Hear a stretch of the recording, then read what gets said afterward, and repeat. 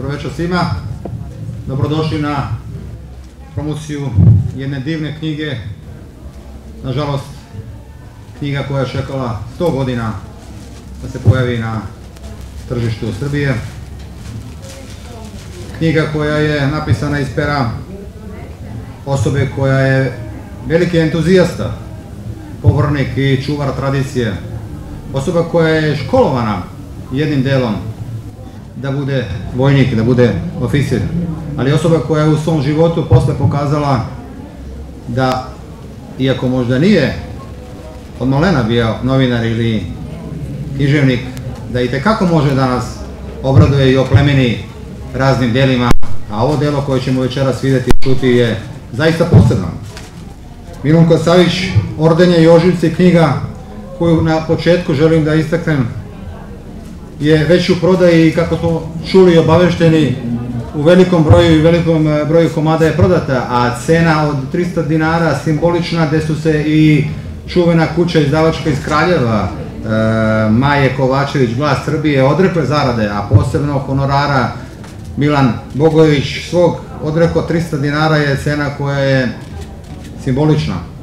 I kako već sada zadnji dan, odnosno predzadnji dan Beogradskog sajma Pitanje je da li će još sutra biti u prodaju, što mi je veoma drago. Ja sam Živojin Žika Petrović, vodim Srpsku naučnu televiziju, koja ima jedan, jednu rubriku, jedan segment, serijal, da se ne zaboravi. U tom segmentu mi podsjećamo i na jedan interesantan način prikazujemo heroje naše iz istorije, posebno naše, naše e, junake, i mogao reći da od 30 koje smo do sad predstavili ostale Milunka Savić čekajući ovaj trenutak, da prvo Milan i da ovo veče prikažemo je u ovom delu, a kasnije ćemo i mi prikazati na ekranu. Milan u ovoj knjizi vidjet ćete i sami u prvom delu i tekako interesantno njenu biografske podatke iznosi sa činjenicama koje možda do sada i nisu poznate, a u drugom delu je on već napravio scenario za jedan film. Film koji je davno trebao da bude snimljen, ali kao što sam počeo, nažalost, 40 godina smo čekali za njenu adekvatnu sahranu uz vojne i državne počasti, a evo 100 godina smo čekali da se ova knjiga pojavi. Ja bih na početku ove večeri, koja već počinje malo kasnije našom krivicom, dao reč gospodinu Darku Zlo jutru, koji je uradnik političke rubrike u dnevnom listu Alo i koji je veliki poštavalac i poznanik, ali i čuvar tradicije i svojim uticajem uvek gleda da to istakne i nekoliko puta do sada su kod kroz njegove novine i objavljivane e, dela i, i serijali i priča o istorijskim događajima, činjenicama i nekim interesantnim dešavanjima. Pa u tom smislu, da ne bi ja dužio dalje, Darko, ja izvolite, pa ćemo posle dalje. Pre svega dobroveče. u samom uvodu ove knjige koju mogu slobodno da kažem da je Srbija čekala dugo i da je Milunka samo jedan od heroja ovaj, koje je Srbija, da kažem, jednim delom ukaljala svoj obraz i uh, je naš autor uh, upis, opisao jedne reči. Naime, on kaže od euforije uh, do zaborava i nazad. Bukvalno ta rečenica uh, ilustruje ceo uh, život Milunke Savić, uh, jednostavno knjiga koja na samom početku otkriva sve što se u njoj nalazi.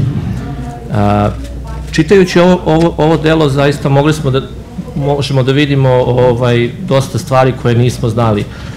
Svi dobro znamo ovaj, za ordenje Milunke Savić, da je nosilac Karadžorđeve zvezde, da je nosilac albanske spomenice, legije časti, dosta smo slušali o njenom junaštvu, o, ali nikako nismo uh, znali uh, kako se ona uh, kasnije, nakon svih tih silnih bitaka i u samim tim istim ratovima, od, ovaj, zaista uh, ponosila i jednostavno je služila za ponos svima i slavnoj srpskoj vojsci. Izdvojio bih jedan deo knjige gde ovaj autor ovaj, zaista po prvi put možda iznosi ovaj, u javnost, a to je a, obraćanje a, generala Milunke Savić prilikom a, povlačenja srpske vojske preko Albanije. A, bukvalno a, koliki je značaj Milunka imala, on je, a, on je a, govori u jednoj rečenici kada kaže Milunka, a, ti ideš na čelu kolone, a, ti si a, ta o kojoj vojska gleda, jer a, kada vojnik kaže, kada to može Milunka da iz, ovaj, izvede i kada to može Milunka da a, preživi, onda moram i ja. A, dovoljno govori koliko je Milunka značila za srpski, a, za srpski rod, za srpskog vojnika, podizala je moral, podizala je ono pravo junaštvo kojem se mi danas dičimo. Isto tako u ovoj knjizi možemo naći malo ružniju stranu nas Srba i Srbije, jer smo dozvolili da jedna takva heroina, da jedna takva ličnost na kraju ipak bude malo zaboravljena, ne malo, malo više. I to najbolje govori u sastanku francuskih oficira, junaka koji su nakon Prvog svetskog rata dolazili u Srbiju i našli nju u, ovaj, da kažem, u jednim, slobodno mogu reći, nehumanim ljudskim uslovima da živi, što naš autor u knjizi iznosi i francuski oficiri su pitali zar žena heroj da se bori za pače hleba. Dovoljno govori ovaj, koliko je tuge i koliko bola Srbija svojim nemarom nanela Milunki Savić. Milunka je bila žena koju bi se svaki narod ponosio, kojom bi se svaki narod dičio. Mi smo tu, da kažem, imali taj neki vakum i mrlju. Srbija je poznata po tome da je svoje heroje gutala, i svoju decu gutala, ali nadam se da će ova knjiga biti samo jedan okidač da se koliko toliko ovaj, eto, potomci Milanke Savić ovaj, i mi svi ovaj, u jednom, jednom odužimo. Baš kao što je Žika rekao, u drugom delu ima bukvalno toliko materijala da se snimi jedan film, a mislim da to Milunka zaista zaslužuje. I nadam se da će Milan, poznavajući ga ovaj, kao zaista istinskog borca, ovaj, da svet, za srpsku istoriju da predstavi u pravom svetlu onako kako je, da izgura možda ovaj, čak i taj jedan film da, kako bi ovaj, što bliže ovaj, i što bolje a, našim sledećim naraštajima objasnili ko je bila Milunka Savić i zašto ona zaslužuje a, veliko mesto u srpskoj istoriji. A, ispričao bih vam samo ovaj, ja, jedan segment a, koji takođe pisac iznosi u svojoj knjizi, to je kada je u toku provlačenja ovaj, preko Albanije, kada je naša vojska došla do Skadra, u svim tim raljama, krvlju, natopljenim ovaj, nogama i koliko kilometara su prešli peške, Milunka je primetila jedno dete koje je imalo ni tri godine, pitala e, je čije je to dete, e, objasnili su je da je to dete od artiljerijskog oficira srpske vojske, da su je našli bebu, dete, kako god, ovaj, da leži i oko nje su ležali mrtvi ljudi. Kada su pitali to dete, ko je to, on, ona je rekla, to su tata, mama, bata i njegova verenica. I mene su ubili. I onda su, su tom detetu otvorili uh, košuljicu koju je imala, videli su da je metak prošao kroz grudni koš uh, i spasli su je. O, od tada je Milunka, uh, eto, pored svih svojih muka, ona je uspela da vidi uh, jedno dete napušteno, od tada je ona vodila računa o njemu i, da kažem, spasila ga.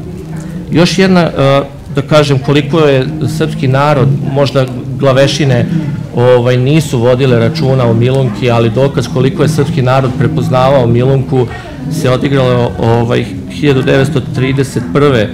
Ovaj, kada su putovali ovaj, srpski vojnici u Francusku, na sastanak sa francuskim vojnicima. Milonka je kao istaknuti borac e, i kao nosilac visokih odlikovanja e, bila prvo pozvana da predstavlja Srbiju u Francuskoj. E, sedeli su u vozu, ona je naravno kao skromna žena čutala, nije želala da iznosi svoj materijalni položaj, a to su znali borci i to su znali ljudi koji su sa njom delili taj ratnički hleb i oni su unapred znali da Milunka nema novca i da u Francuskoj ide, u Francuskoj ide bukvalno praznih džepova. To srpsko junaštvo iz rata prenelo se ovaj, i posle, oni su mimo njenog znanja sakupili novac za Milunku i onako u šali su je pitali to ovaj, pisac baš da kažem do detalja opisuje u svojoj knjizi, e, pitali Milunka koliko si novca ponela u Francusku ona je opet e, ne dajući ovaj, da je e, to siromaštvo slomi, izgovorila e, pa ja sam mislila da mi ne treba novac u Francuskoj, da je sve plaćeno i na što su se svi nasmejali i jedan od njenih saboraca, vojnika je dao kapu punu para što su sakupili. Koliko je teško primiti ovaj, milostinju, ovaj, to najbolje govori iz suza Milan, Milunkini koja je zaplakala i samo izgovorila jednu rečenicu e, nisam ni slutila da će moja deca e, dobiti poklon iz Pariza. E, zaista u toj jednoj rečenici, u tom događaju možemo videti koliko je Milunka čak i u tom svom siromaštvu koje je živela posle rata kao nosilac albanske spomenice Karadžorđeve zvezde i Legije časti bila velika i tada nije ovaj, dala da da je slome, odgajala je čet, četvoro dece i junački se borila do samog kraja. Baš zbog toga mislim da Milunka zaslužuje mnogo, mnogo više nego što je Srbija dala i pitanje da li će biti dovoljno vremena da mi njoj nekada vratimo taj dug koji je ona zaista zaslužila.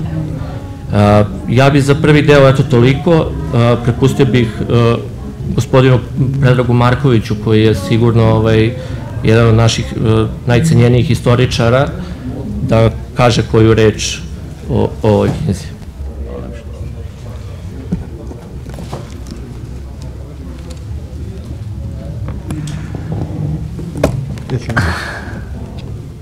Pre svega dobroveče. Poznato je da ja nikada ne demantujem ono što se objavi o meni, ali kad se izgovori moram. Ne, nisam naravno cenjen kao istoričar.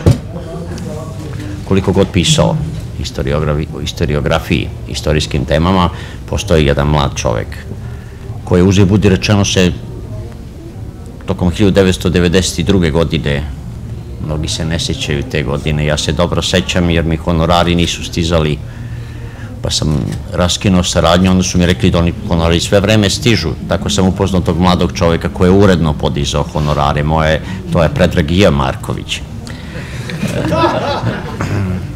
I koji je, on je inače kasnije vratio banci nominalni iznos. Ako se neko seća 92. godine, to je iznosilo negde oko 5% realne vrednosti. Naša borba koja je inače meni bila dužna, pa su, on, i oni su nadoknadili koliko god su mogli tu nominalnu vrednost nekoliko meseci ranije, tako da sam i ja dobio jedno 10% vrednosti svog honorara, a Kostan Marković je se upoznao sa mnom tako što je zvao da mi se zahvali i da me izvede na ručak. Ukupan profit je bio oko 3.500 maraka. Njegov, ali lepo je početi ovako, jer nesporazumi nekad počivaju ne samo na dobronamernosti, sa vaše strane ovo bilo, više nego dobronamerno, a da ne znam što bi bilo. Biti istoričar u Srbiji je u stvari, kad malo bolje pogledate, dosta pogredno. Ako ni zbog čeg drugog, zbog svega što ćemo mi reći danas, a vi ste već rekli, kažete nije napisano, pa ko to nije napisao? Kad je završio taj veliki rat? Pa nije o njemu stiglo dovoljno da se napiše, nije dovoljno napisano o Milunki Savić. Pa nisu valjda očekivali da ja napišem romane ili da predložim neki zakon u Skupštini, jel? Ne. ali nije reč stvarno istoričarima, naravno, šalim se. Ja pretpostavljam da svi koji su došli veruju da dovoljno znaju o Milunki Savić. I poštujući upravo Milunku Savić i ono šta ona predstavlja i šta predstavlja mit o njoj, mit koji je toliki da ćete vi sigurno ako krenete da u nastavcima objavljujete, objaviti barem deset nastavaka, a da time nećete iscrpiti ni trećinu ove knjige koja je, nije prevelika, zbog ilustrativnog materijala nije prevelika, ali je idealna upravo za prezentaciju čitocima. Mi smo ovde zbog nečeg drugog, da govorimo o gospodinu Bogojeviću i šta je on u stvari uradio u ovoj knjizi. Jer ako govorimo o tome zašto glavešine nisu vodile računa o Milunki Savić, pa to uopšte nije njihov posao. To je za marketing. Gospodine Jeremiću, jeste vi vodili računa o starim, sjajnim diplomatama za koje niste znali dok ste radili svoj posao? Pa niste. Sreli biste se nekad. Jesam ja vodio računa o bivšim predsjednicima Skupštine od pre 40 godina. O tome treba da vodi računa sistem. Mora da postoje institucije koje brinu o zaslužnima u nečemu. I mi sad dolazimo do prave tragedije zbog koje je važna ova knjiga. Ne obraćajte pažnju šta god da se čuje. Zbog koje je važna ova knjiga, a to je ne postoji sistem vrednosti i ne postoje institucije koje bi taj sistem vrednosti štitile ili branile. A šta? Izgubio je 73% stanovništva u radno najefektnijem životnoj dobi. I onda kažete, a ko je onda trebao da gradi te institucije pa da brine o mnogo čemu, pa i o Milunki Savić. Mi smo imali sreću da su i drugi imali nesreću. Pa iz Rusije samo Vrangelovim brodovima stiglo 150.000 ljudi. 50.000 ih je ostalo. A bežali su oni koji znaju kako se beži. Imali su, dakle, i obrazovanje, i nešto novca, i tehnike, i stiglo je 50.000 obrazovnih ljudi, 98% Rusa, emigranata je bilo obrazovano. Pa pogledajte šta su radili. Jedan Nikolaj Krasnov, recimo. Šta je podigao. A šta ćemo s onim neimenovanim, nepoznatim lekarima, inženjerima? Kad sam pisao o tim ljudima nedavno u romanu Zavodnik Ništavila, naišao sam na podatak da su Rusi u stvari sagradili stadion Karadžorđe u Novom Sadu.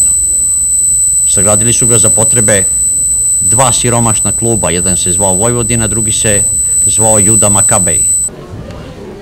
Ako hoćete da prikažete veličinu, evo u ovom slučaju, tih ratnika koji su, jel treba da ponavljamo šta je sve uradila srpska vojska, da to znamo koji sedimo ovdje.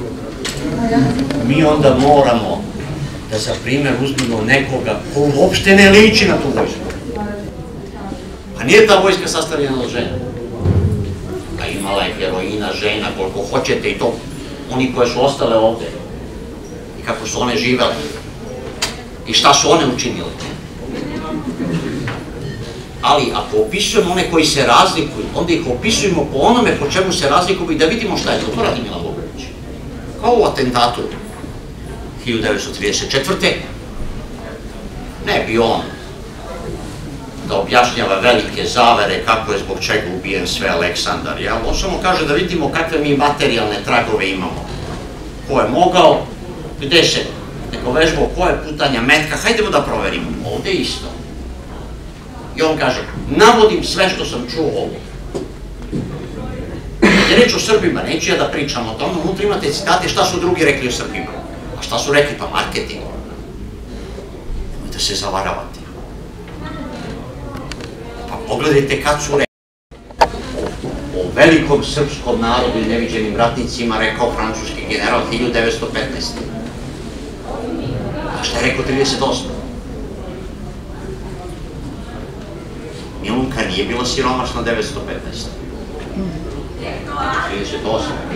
Zato što u njenoj državi nije bilo sistema, a onome što očekujemo međunarodna podrška, tu smo imali marketing. Odakle svi ovi podaci o Milunki Savić kad navedete? Je to ona u mikrofon govorila? Nije. Nego vešti i poslovni novinari kao vi, gospodin. Oni su njenu priču prezentovali. I vi imate našu podatke. I oni ih navodi. Ali, Vuković čini, zato meni ova knjiga značajna i zato mi je zadovoljstvo.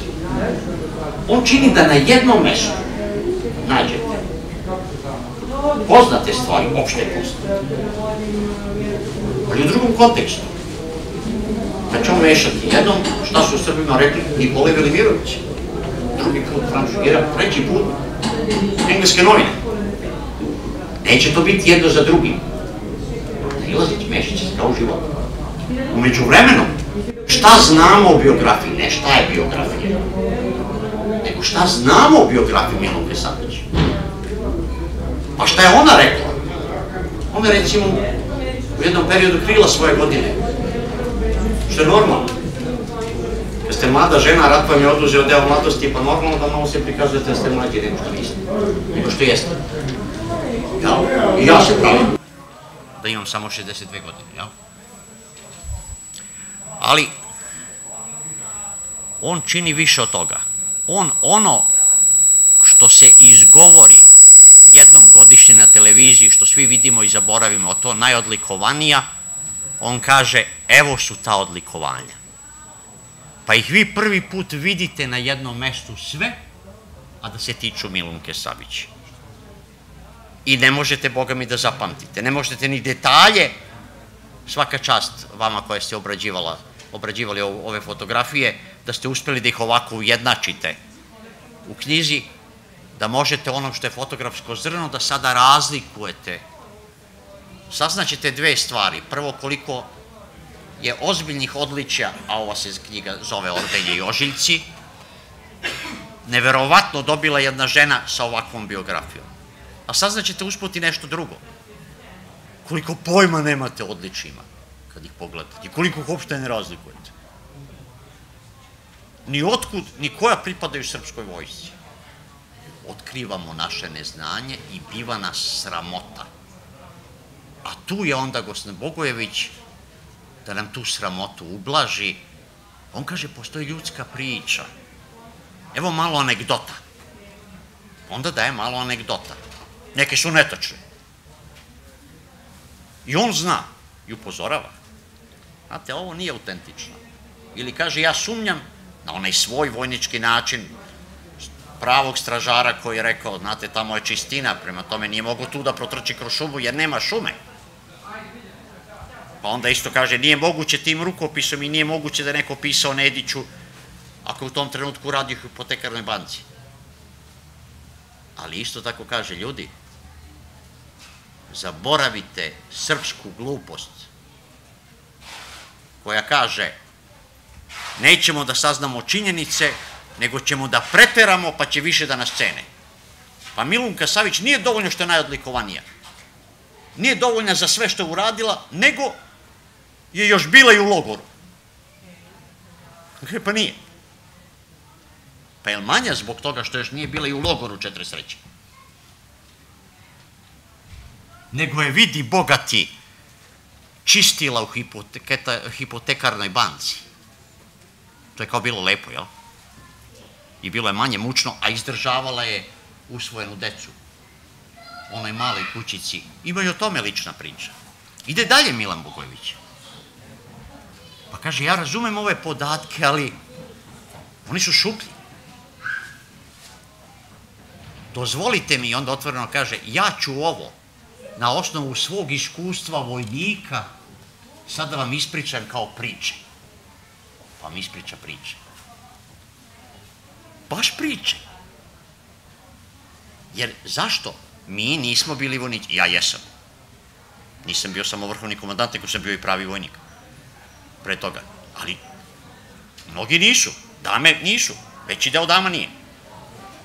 Čak ni moja žena nije, mada mi zapoveda. Ovaj.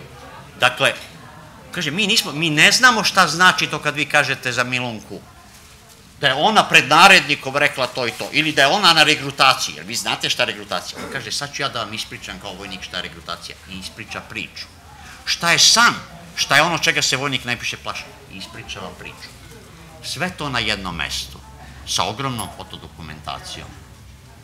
Čini da vi poželite da ponovo pričate o Milunki Saviću.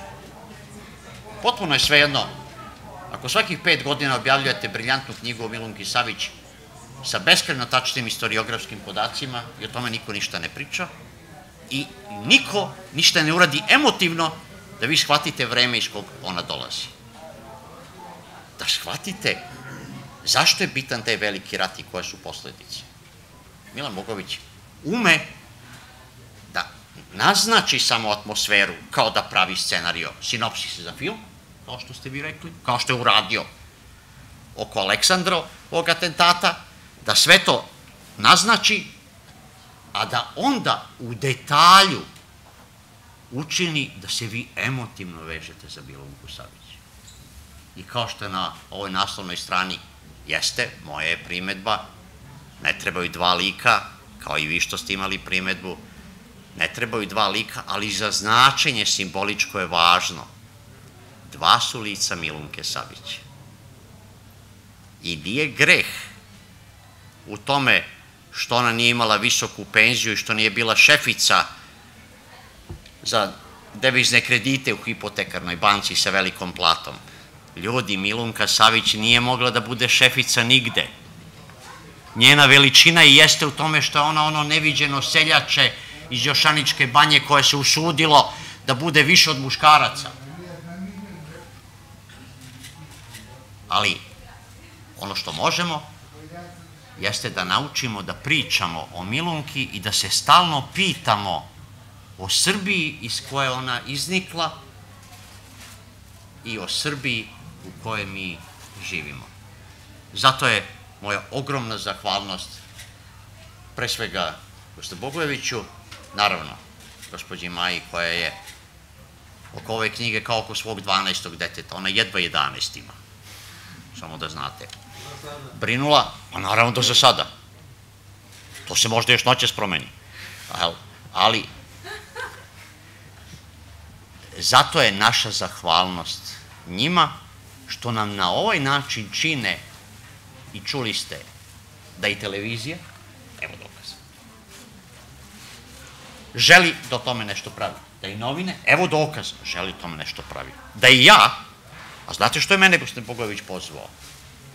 Da vam pokaže da je to normalno kad neko nešto radi, pa mu se posle toga niko ne zahvali, pa nema nikakav posao. Kaže, da pozovem jednog šefa države koji četiri godine nema nikakva primanja, možda će on moći da vam kaže nešto Milunki Savić. I zato vam ja kažem, nije njena sudbina nepravedna. Njena sudbina je spram vremena u kome je živela. Na nama je da učinimo da takvo vreme ne traje predugo, a traje. Hvala izdavaču, hvala vama na strpljenju. Hvala svima koji su ometali, znam da nije namerno.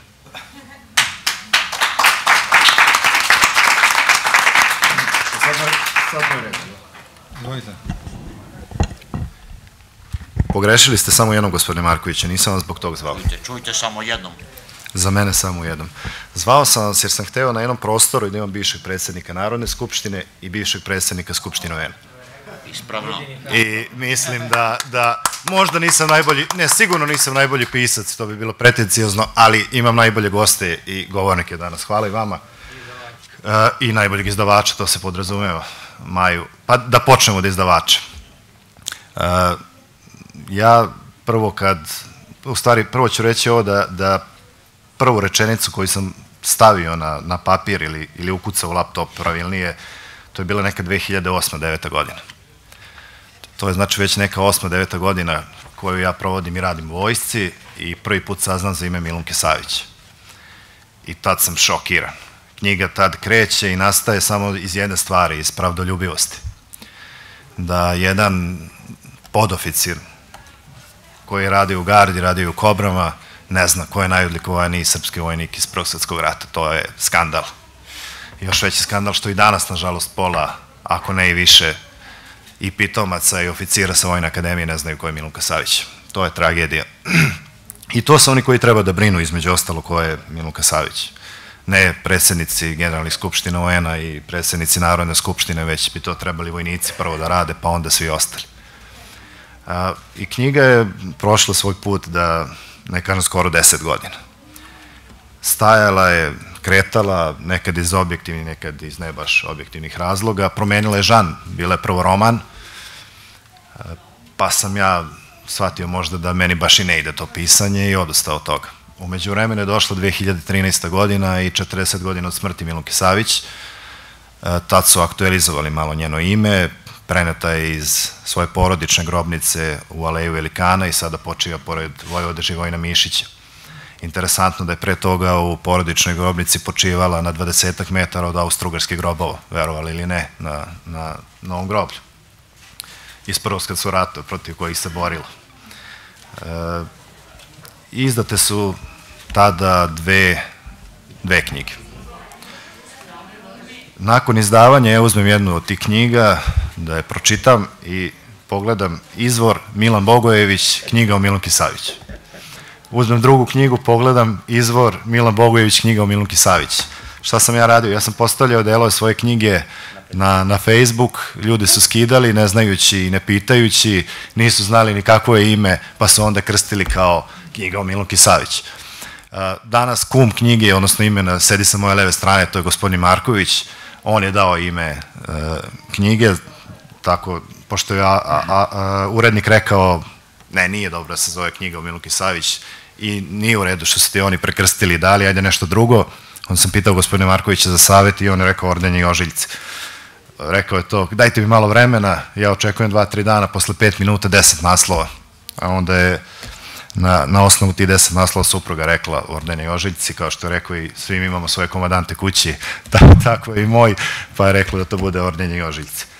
E, I onda kad, kad sam video da, da su oni napisali, ajde da završimo tu svoju knjigu, završim je u dve celine i dam gospodinu Aleksandru Dikliću književniku da pogleda i da vidimo šta da radimo, u kom žanru sada idemo, kaže idemo oba, ostavi ovako, upravo veličina te knjige, pored biografije, jesu te tvoje priče koje su autentične i koje može da napiše samo jedan vojnik.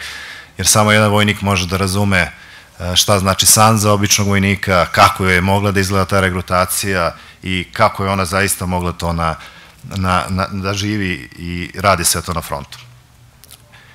Kad sam završio knjigu, onda je došlo vreme na izdavača. Umeđu vremenu sam uspeo da upoznam ovu divnu ženu Maju Kovačević i ona ima svoju izdavačku kuću, izdaje kraljevske novine i knjige, jeli, Glas Srbije se zove izdavačka kuća, i gde je meni u momentu kliknulo, pa da, Maja ima 11 dece, Milunka Savić je imala jedno svoje, još troje je usvojila, ali je, kažu, 30 deca, ne kažu, nego postoje svedočanstva i tih ljudi odškolovala. E, kako, verujte, ja to ne znam. Pokušavao sam, slagao sam dokumenta ispred sebe, računao koliko je penziju imala, Ako pričamo recimo, ja mislim, 31. godini, ne, pardon, 38. godini, februar 12. Ona je tada imala 900 dinara penziju, kada se sve odbije, sve, a to je značilo stan, računi i samo hleb za decu, ostajalo je 230 dinara. Sa 230 dinara nije mogla da živi. Na koji način je očkolovala tu decu, pretpostavljam da je imala neke, neke donacije nekih ljudi, jer činjenica da jeste, ljudi su ostavili tragi, pisali, kasnije neki bili direktori ili doktori iz njene okoline, tamo Jošaničke banje Koprivnice, koji su ostavili to svedočanstvo da ih jeste iškolova. I eto, tako ja nađem tu simboliku, ali ne možete simboliku da pravite tako što ćete da kažete ok, ali gde je moj deo, gde je ti 15%, 10% ili kako već ide, gospodin Marković, vi ste bili izdavač, pa bolje to od mene znate, ja ni jednu knjigu do sad nisam uzimao ovaj, svoj deo. Ali mi je to, to, je bila ta simbolika i ja sam Aji ponudio knjigu, odrekao se honorara, da bi ta knjiga danas koštala koliko košta i da može da se proda koliko se prodala, jer je ono svim širim masama danas dostupna, 300 dinara je kutija cigareta. Mislim da je to, ispod toga stvarno ne može. I, I dogovorili smo se da bude ovako kakva jeste, da ne bude niti luksuzna, niti tvrde korice, nego da što, što više smanjimo troškovi i da što više knjige prodamo. E, o samoj knjizi, ja bi možda samo zadnji deo knjige pričao, to je Milunka Savić danas. Ovo ostalo ćete kupiti ili dobiti knjigu, neki su već i pročitali, jeli? ali taj poslednji deo je možda i, i onako najteži. E, ja sam nekoliko puta odlazio, rekao sam da vidim gde je sahranjena i gde je živela. Ona je do 45. menjala lokacije, uglavnom u centru grada, te lokacije koje je menjala gde je živjela danas naravno ne postoje. To su nekad bile male kućice koje su danas zgrade. Ali jedna kuća je ostala u kojoj ona i jeste provela najveći deo svog života, to je na Voždovcu, nekada se zvala Osme Nove, danas se zove po njoj Milunke Savić. E, to je jedna mala kućica koja ima dve prostorije, kažu tri ako računaju hodnik. U jednoj prostoriji dok je tamo ona živela bio je skladišten ogrev, ugalj, a u drugoj prostoriji je živela Milunka Savić, najodlikovanija srpkinja svih vremena. Živela je od tamo tih 45. godine sa jednom usvojenom čerkom Zorkom koja je bila bolesna, mentalno bolesna, ona je to znala i kada je usvajala, što je još jedna njena veličina. Znači, dan, danas nije lako usvojiti dete koje ima neke, neke smetnje, a ona je, posebno je tad to bilo ovako teško. Živeli su njih dve u toj kućici, do koje je vodila jedna stazica, nije bilo puta. Tamo je put u tu ulicu došao tek posle 2000. godine. Znači, opet ću ponoviti, naša najodlikovanija Srpkinja, zimu je provodila i jesen verovatno u blatu, a proleće i leto u prašini. Otišao sam i išao sam red. Od kuće do kuće pitao da li ste možda poznavali Milunku Savić i takav je kontrast bio da i stvarno ljudi ne možete da verujete. E, da, da gospođa koja živi preko puta te kuće kaže, ne, ne znam, ja sam došla pre deseta godina, ja je pitam, ali znate koja je bila Milunka Savić? Pa ne znam, da li je bila neki heroj. U ulici u kojoj živi ljudi ne znaju ko je bila Milunka Savić, oni koji su došli kasnije.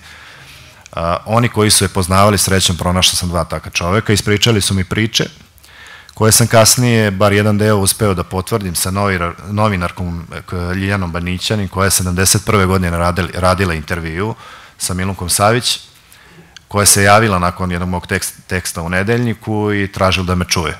Ja sam se iznenadio, prvo iskreno nisam znao da je žena još uvijek živa. I pitao sam je, čega se vi sećate? Da, davno je to bilo, Ona je rekla, sećam se dve ili tri stvari. Prva stvar koja se sećam jeste da e, je ona bila toliko ponosita, ni jednom trenutku nije kukala, nije, uopšte nije pričala o tom životu kakav je živela, ja sam, kaže, videla da je to strašno bilo. Druga stvar je bila ta da je u pola intervjua koje ona radila sa njom došla ta njena čerka e, koja je bila bolesna sa e, onim starim lomčaricama iz narodne kuhinje. Znači, ljudi, ona se hranila u narodnoj kuhinji, ta žena. Komšije su mi rekli, koje su je poznavale, da je bila apsolutno zaboravljena. Jednom godišnje dolazili su predstavnici francuske ambasade, kao što kaže gospodin Marković, verovatno zbog marketinga, možda i više zbog obaveza koje su imali protokolarno prema toj ženi, dolazili su da je vide, odlazili, tad kad bi dolazili došli bi i naši neki predstavnici, vlasti, to bi bilo to. Tu se završavala jednom godišnje priča o Milunki Savić. Ona nije kukala, živela je u toj ulici, kažu, sedeći na jednoj klupi ispred kuće. Sve što bi imala davala bi deci toj, koje su tu danas ljudi koji su govorili mi jedan taksista, mislim da Mile se zvao, kaže, ja dođem jednom do nje i ona kaže da ti pokloni baka nešto, dođem kući, kaže, otac, vraćaj to, uhvati ga za uši. Ona me poklonila neki skupoceni bodež koji su tom prilikom, recimo, predstavnici te francuske vlasti iz ambasade, verovatno, joj poklonili. Imala je nekoliko haljina, ali samo jedno reprezentativno i na fotografijama kasnijim koje se mogu videti pred njenom smrti je uvek u toj jednoj haljini ili crvenoj na ruže. Ima jedno u koloru koje se može vidjeti. 72. godine je posle niza tekstova novinara koji su napisali o njoj, Branko Pešić, e, gradonačelnik, uručio je stan u ulici braća Jerkovića, odnosno naselju braća Jerkovića. Ja kažem da ne znam koliko je učinio to kada je dao jednosoban stan u zgradi četvoros, četvorospratnoj bez lifta i njoj na četvrtoj sprati žene 80 godina. Četiri puta ranjavano i teško. E, mislim da joj nije mnogo učinio jer ona ni godinu dana živjela u tom stanu i umrla je. Zaboravljena je, kažu, ovaj, mnogi mi to govore, jer kažem već de, deseta godina pričam o Milunki Savić, mnogi govore kao, pa nju je kralj zaboravio, ali Tito nije. Tito je dao penziju. Pa računao sam i tu njenu penziju. Od penzije 32.000 dinara koliko je imala, imala je nadoknadu 1000 dinara za Karadžorđevu zvezdu. Ja sam napisao na kraju knjige i, i moj moj utisak zašto je uopšte dobila to. Dobila je da bi se negde izjednačili narodni heroji sa herojima Karadžorđeve zvezde, da bi se izjednačio Solonski front sa Sremskim frontom, da bi se izjednačile Cerske, Cerska Kolubarska sa Sutjeskom, Kozarom i tako dalje. Slažem se, sve to u redu. Ali to je bilo samo na, na papiru. U životu to nije bilo tako, jer kažem ko je, i kad dolazio kod nje. Došle su 90. godine, došlo je vreme tog srpskog velikog nacionalizma, kada su se počeli slaviti i oni koji treba i oni koji ne trebaju, i opet Milunku Savić niko nije spominjao. Recimo, evo primjer te 2008. 9. godine, bilo je nekoliko tekstova o Milunki Savić koji su mogli da se nađu na internetu, jeli mi danas se najviše gotovo i informišemo preko interneta, i svi su bili gotovo isti to je bilo da je Milunka Savić nosilac 12 odlikovanja, da je nosilac srpskih, francuskih, e, britanskih i ruskih i da je šest, a negde sedam puta ranjava. To je ono što smo pričali malo pre. Kao da je malo što je imala sedam odlikovanja, kao da je malo što je četiri puta ranjeno, nego mi idemo iz krajnosti u krajnost. Ili zaboravljamo ili pravimo mit od nekoga. A nemamo potrebe kada su ovakve, ovakve žene i ovakvi heroji u, u pitanju. Samo krivimo tu jednu, jednu sliku. E, Milunka Savić nema uh, ruska i britanska odlikovanja. Ruska, pretpostavljam, zašto nema, zbog te revolucije koja se desila, verovatno bi imala. Britanska opet, pretpostavljam, zašto nema, ali ima tri ordena uh, koja je dobila od Francuske republike, to su dva ordena Legije časti i ratni, krst sa palminim granama i ima e, četiri srpska odlikovanja, odnosno dva odlikovanja i dve spomenice, e, Karadžorđevu zvezdu sa, vojničku Karadžorđevu zvezdu sa mačajima koju je lično uručio regent e, Aleksandar na Solonskom frontu i ima Milo, orden za hrabrost Miloš Obilić, dve spomenice, albansku spomenicu učesnika uh, u Balkanskim i Prvosvetskom ratu, oslobodičkom ratovima jeste. Mm. E, ono što je najčudnije jesu kad su došle te 2000. godine, pa onda se približavaju godišnjice. 2012. je stogodišnjica obeležavanja početka Prvog Balkanskog rata, radi i RTS anketu. Gospodin Marković je malo pre pričao nešto o tim anketama, ko, koliko su one danas bez smisla, ali kad se e, radi o ovakvim stvarima, onda stvarno imaju. Kada je u pitanju politika, naravno ne, ali kada je u pitanju ovakva jedna tema, ja tu apsolutno verujem. E, rezultat je bio sledeći. Na hiljadu ispitanika 90, zarez nešto posto ljudi nije znalo ko je Milunka Stavić. 93,8 E, ispitanika nije znalo protiv koga je Srbija ratovala u Prvom Balkanskom ratu. A na pitanje koliko dobro poznajete srpsku istoriju, 66, nešto posto je reklo da poznaje srpsku istoriju. E, to su, to su poražavajuće stvari. Poražavajuće stvari su te što danas vlasnik hoće da sruši kuću u kojoj je živjela Milunka Savić, i to može da uradi bez ikakvog pravnog, bez, bez, bez ikakvih posledica, jer kuća nije zaštićena od strane Zavoda za zaštitu spomenika.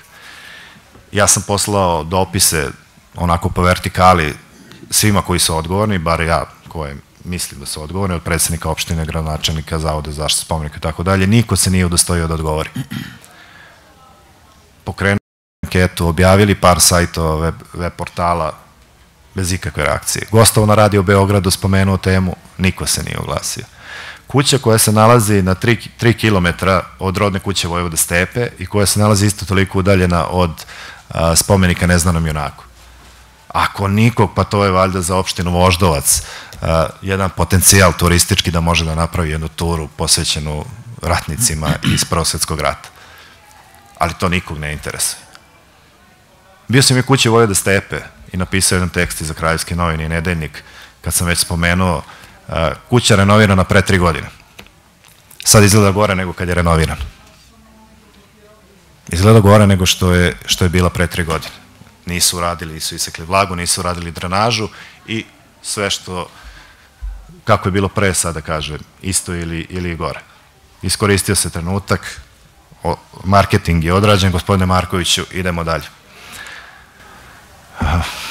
Što se tiče te kuće, kažem vam, Miluka Savić koji hoće da se prodaju, koji hoće vlasnik da proda, na njoj postoji jedna mala tabla koja danas ne može da se pročita. Pre par godina kad sam ja bio mogao, sam sad više ne može. Usled vremenske prilika došlo je, zarađalo je, jer nije plemenitog materijala. Opština Voždovac je takođe imala e, u planu da to zameni, ali onda je pred kraju godine reklo da budžet ne uklapaju sa budžet i to su izostavili. E, to je, poštovani prijatelji moji koji ste danas došli, samo jedna današnja slika o Milunki Savić. Da bi kompletnu sliku imali, da bi videli koliko je to strašno, morate da pročitate ili trebali bi da pročitate knjigu i da vidite šta je sve ta žena uradila u svom životu, a to je nešto što nažalost ne može da stane u 15 minuta koliko sam ja, koliko je meni ostalo da, da govorim. Zato sam izabrao samo ovaj jedan detalj, Milunka Savić recimo danas, koji se nadam da će vas zainteresovati i da pročitate njenu biografiju. Još jednom, znači, da se zahvalim svima vama, da se zahvalim svima vama koji ste došli, da se zahvalim posebno Sanji Tomić, Suzani Ban koji su radili na ovoj knjizi, mnogo vam hvala. Uh, učinili ste da ova knjiga dobije na lepoti, da dobije na funkcionalnosti, da se lakše pročita, da ispravite sve moje greške, što nije bilo lako, ali tako? Nije. Nije bilo mnogo, hvala vam. Nismo se dogovorili. I da se zahvali Maji Kovačević što je, ovaj, ne samo što je izdala knjigu, nego što je ovako energično stala, što kaže gospodin Marković, kao da je u pitanju 12. dete. Ja sam bio jedan dan na sajmu, ali pratim preko društvenih mreža. Ona Juri, gospodine Ršumović, imali kome da nije dala od, od javnih ličnosti koje, koje su prošle da, na, na sajmu, teško. I, I siguran sam da, da sam dobro uradio što sam dao i zbog vas, a i zbog same knjige, jer mislim da će, da će imati svoj, svoj život koji se neće skoro završiti. Milunka živi drugi put.